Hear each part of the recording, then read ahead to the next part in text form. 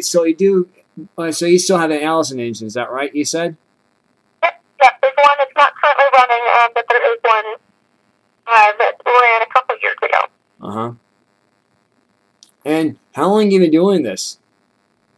I've been racing for ten years. Ten years. Hmm? And what's what's one of the most favorite, memorable races you've ever done? What's one memorable race that stands out from the rest of them you've done? Um, probably when I won Seafair. It was the biggest race that I've won so far. I, was, I won in the Unlimited Light, which is the second largest class. Mm-hmm. I was the first female to ever win Seafair, so it was a, that was a pretty big deal to me. Um, it was the race that got me started in boat racing. It was the race that I grew up being a part of, so it Mm. was a very, very sentimental moment. Right. These. Uh, I, they have Miss Budweiser back again, or is that still, or is that still gone? Miss Budweiser. No. Miss Budweiser, uh, the boats are still around. They're um, the Graham Trucking boats are the last Miss, Miss Budweiser boats.